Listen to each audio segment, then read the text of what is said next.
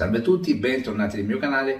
Ricordo quando da giovane urologo ero convinto che meno estrogeni all'uomo in circolo e meglio è, essendo un ormone femminile. Nulla di più sbagliato, me ne sono poi reso conto chiaramente andando avanti negli anni e dedicandomi all'andrologia, di quanto gli estrogeni siano fondamentali a partire dalla neuroplasticità cerebrale. Quindi l'estrogeno è un ormone indispensabile però quindi se troppo basso ma anche troppo alto può creare dei danni o comunque delle problematiche che possono andare dal metabolismo all'umore. Esistono quindi serie di molecole antiestrogeniche che quindi vanno a inibire l'azione degli estrogeni in eccesso. Ricordiamoci che tutto nasce in medicina per eh, applicare esempio al trattamento del tumore del seno nella donna estrogeno responsivo. Quindi esistono gli antiestrogeni, conosciamo benissimo dei nomi, quali ad esempio il Norvadex e il tamoxifene, meno cromifene per alcuni aspetti che affrontiamo spesso nel dettaglio in questi video, nello stesso tempo ci sono degli antiaromatasi, molecole che sono in grado di inibire quell'enzima, quella molecola che è in grado di trasformare il testosterone in estrogeno.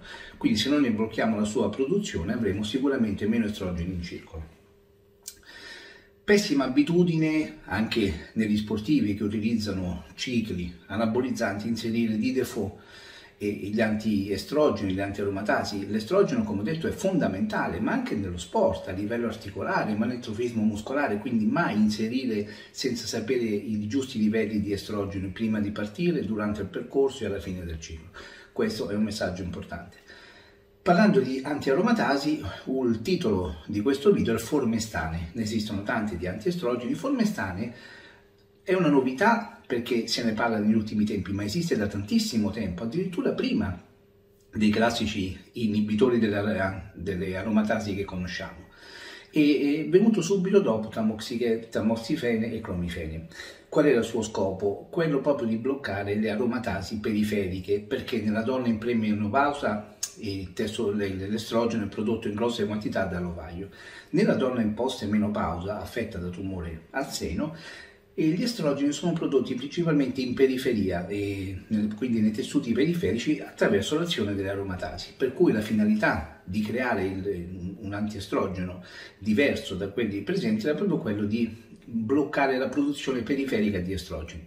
Il formestane è una diciamo quindi un'antiaromatasi eh, di tipo steroideo suicida, suicida perché sacrifica la propria conformazione per bloccare in maniera definitiva l'attività appunto dell'aromatasi, come se noi inserissimo dentro una, una toppa, una chiave e poi la rompiamo. Quella serratura è bloccata per sempre, quindi è un inibitore dell'aromatasi di tipo suicida, steroideo, ma è stato creato precedentemente agli antiaromatasi che conosciamo, che sentiamo nominare spesso, l'exemestane o altri, adesso non è questo il momento per non crearvi confusione, per cui nuovo perché se ne parla adesso, ma in effetti già presente da tempo.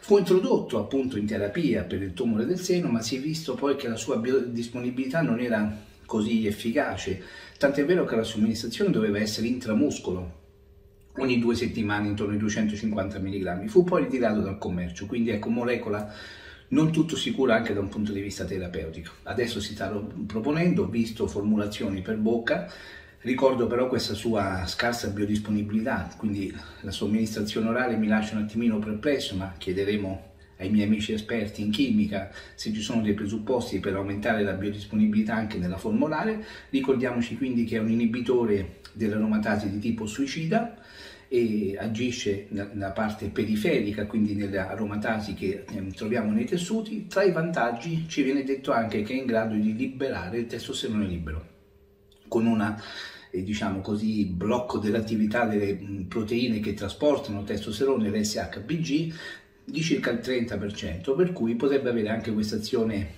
simile mesterolone per chi conosce i farmaci, quindi una liberazione di testosterone libero, il che chiaramente può essere di aiuto in, in persone che stanno affrontando un percorso anche di tipo sportivo anabolico.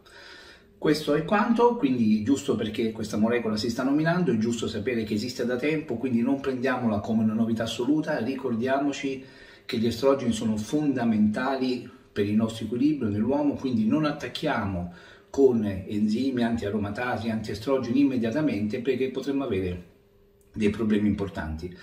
dall'altro anche di rebound.